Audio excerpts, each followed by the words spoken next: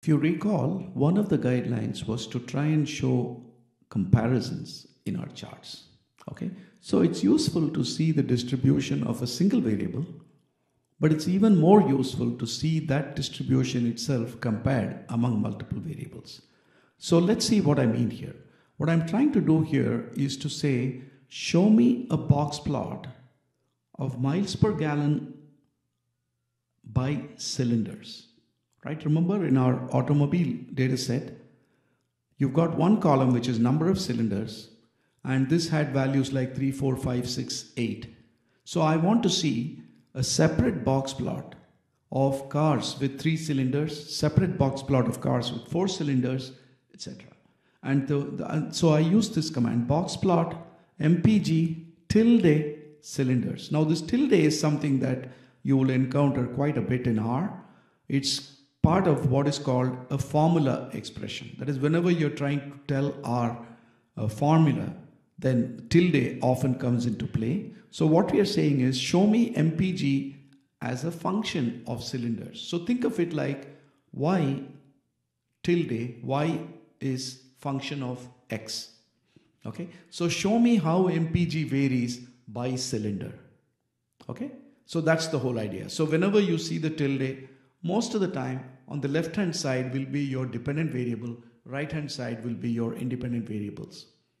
Okay, so when you do this, what you're telling the system literally is take the data, divide the data by number of cylinders. In other words, create a subset of the data for three cylinders, another subset for four cylinders, another subset for five cylinders, and so on.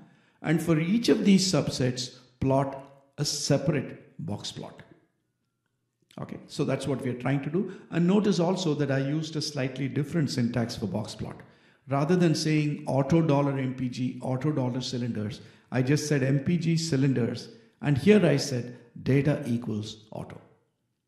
Okay, so this is sort of like saying attach auto and then doing this, except that this attach is happening only for this command. Otherwise, the attach will remain attached till you actually detach it. In this case, we are saying for the purpose of this command, look for everything that I'm talking about in this data frame called auto. So if you do that, you get a chart which looks like this. And of course, as expected, we've got separate box plots for each of the cylinders, right? So this is a box plot of only the three cylinder cars. And this is a box plot of only the four cylinder cars. Okay, so that's what's going on here that uh, we've divided the data into subsets by cylinders and plotted a separate box plot for each cylinder. Now the beauty of this is that this allows us to compare the performance of the fuel efficiency by cylinder. And of course we are seeing that, you know, although there is some variability for every cylinder, if you look at just the medians, okay, you're able to see that four cylinder cars seem to have the highest uh, miles per gallon performance, followed somewhat closely by five cylinder cars, which are slightly lower. Okay. Now, of course, you can't say that uh, every four cylinder car has better performance than five cylinder. That's not true because if you look at the box, you'll see that there are five cylinder cars which outperform four cylinder cars. But when it comes to uh, three cylinders and four cylinders, even there, if you look at the box alone, the boxes do not overlap. But if you look at the complete chart, there are three cylinder cars because remember it's going all the way up to the top whisker, which is higher than the bottom whisker of this. Okay, which means there are four cylinder cars which have better performance than some. Uh, there are three cylinder cars which have better performance than some four cylinder cars, but by and large, four cylinder cars have a better performance. Okay, so clearly you can you're able to see a trend here that the performance improves up to four cylinders when you go to three to four, and when you start going above four, you're starting to see a dip in performance.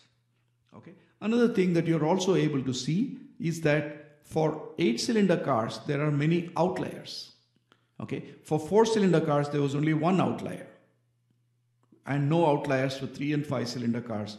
But for six and eight cylinder cars, you're able to see that there are several outliers. Okay, so this is where the benefit of comparisons comes into play, right? So here, rather than just describing data, we are actually telling a story, right?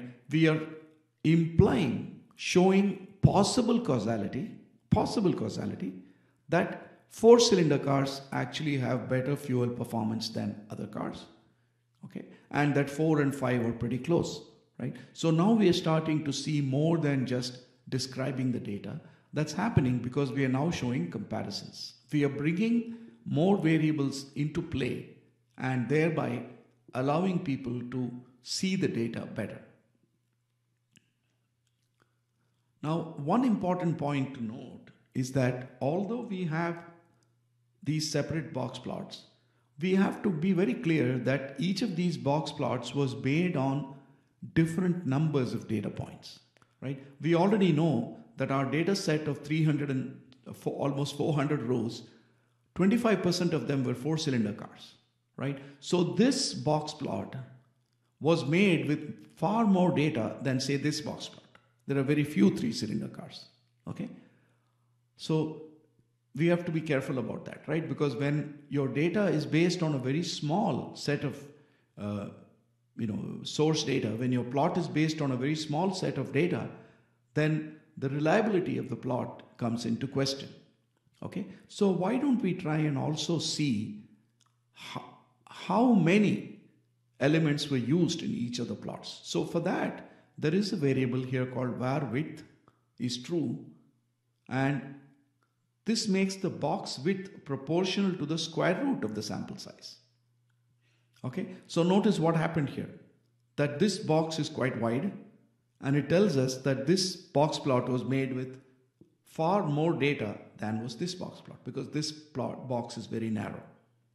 Okay, so the number of four cylinder and six cylinder and eight cylinder cars was actually pretty high. Three and five cylinders were actually very low because you're seeing that from the width. Okay, so once again, we are bringing more dimensions into play. Okay, so for example, you may say, well, the the fuel efficiency difference between four cylinder, six cylinder, eight cylinder cars, the, the box plots were based on significant numbers of data items, right? So this difference actually makes some sense, right? We can be quite sure of this difference. Whereas these two things were based on very small number of data, so we really don't know, uh, you know, how reliable those two plots are. So let's take another example. So here we are plotting the miles per gallon by the model year, right? In other words, we want to probably get an idea of how the car's uh, fuel efficiency has been changing over the years. So model year is one of the columns. We are saying data is auto. So are there more? Uh, so the plot comes out like this. And of course, as we expect, we can see that there is a gentle trend of fuel efficiency increasing over time. Okay, and then we can explore why is it there was this such such a big jump in 74. We can, you know, this gives us some fodder to go and think about and explore the data a little more. And there's also been a big jump suddenly from 79 to 80. So we can again look at that. Uh, so that's what we are seeing here. And again, we may have a question Are there more cars from some years? We know from the previous slide that we can use var width to find that out. Okay, so one way to look at, uh, we, we have looked at two different ways of visualizing a single numeric variable, right? So we can do a histogram of the variable, we can do box plot of the variable, and then we can also get a little more sophisticated with the box plots when we uh, condition the box plot on some other variable, like we did with cylinders and year just now. Okay, when we are looking at uh, two columns, okay, so then uh, scatter plots become very useful. So for example, I've got a column called MPG, another column called horsepower, and I want to see how the two are related. We can use the plot function from R to do that. Okay, so plot MPG tilde horsepower. In other words, put MPG on the y-axis, horsepower on the x-axis, and use the data frame auto to resolve any names that are being used. Right? Alternately, I could have said plot auto dollar mpg tilde auto dollar horsepower. In that case, I would not have needed to say data equals. But when I say data equals something, then the names here would be resolved in the context of whatever I have said here. So this is the plot you get. Of course, as we expected, MPG is on the y-axis, horsepower is on the x-axis, and we can expect to see this trend, right? That the as the horsepower increases, fuel efficiency is going to decrease. This is expected. Again, you're seeing a somewhat curvilinear relationship. Okay, clearly you can see there's a kind of a curve that's going on here. Now, oftentimes we would like to add the regression line to a scatter plot. So first we do the scatter plot just like before, and then we want to add the regression line and uh, first of all, we build the linear regression model for that. Mod is LM MPG tilde horsepower. That's the linear regression model, simple linear regression to find a linear function that explains MPG in terms of horsepower. And then we can use the function AB line to plot a line. That is to overlay the line on top of the scatter plot that we already have.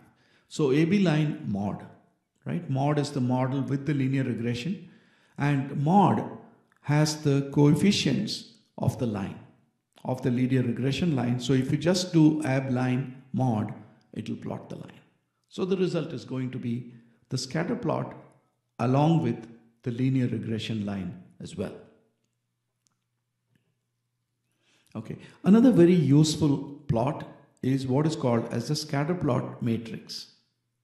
So here I am using the pairs function to generate a scatter plot matrix. So I'm saying pairs, that is, I want to build the scatter plot of all pairs of a certain set of variables, right? So here I'm saying use the columns MPG, displacement, horsepower, weight. For these four columns, plot the scatter plot for every combination of these variables taken two at a time. Okay, the net result is a scatter plot matrix and it looks like this. Okay, so notice that you've got the variable names on the diagonal and you've got the various plots. Okay, so how do you interpret the scatter plot matrix? So let's take this particular plot. Okay, what is this a plot of? Of course, it's a scatter plot, so it's a plot of one variable against another. Okay, now the fact that horsepower is on the x-axis, displacement is parallel to the y-axis, tells us that this is a plot of horsepower on the x-axis, displacement on the y-axis. Okay, that's how you interpret it. Let's take one more example. So this time we take this particular plot. For this plot, what is on the x-axis? X-axis is this, and along the x-axis you see weight. Y-axis is this, Along the y-axis, you see MPG. So this is a plot of weight on the x-axis, MPG on the y-axis. Okay. Now, incidentally, before I jump off ahead, let's understand what is the meaning of a scatter plot. Okay. So scatter plot is basically showing you every point represents a value of the horsepower and its corresponding MPG. Okay, so for example, on a particular row of the data frame, you have one car with a certain horsepower, certain MPG. Okay, so this point here represents the horsepower MPG combination for one car. And of course, together, all of the points represent the horsepower MPG combination for the entire data set. Okay, so obviously there will be as many points here as there are number of rows in the data set. Okay, and that is what helps us to explore the relationship between horsepower and MPG.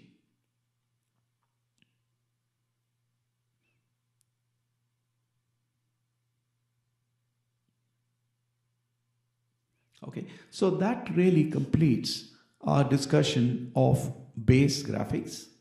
Henceforth, we will actually be using ggplot to plot most of our graphics you will see that ggplot is extremely powerful and it's got a very systematic syntax for us to generate all kinds of very revealing graphs.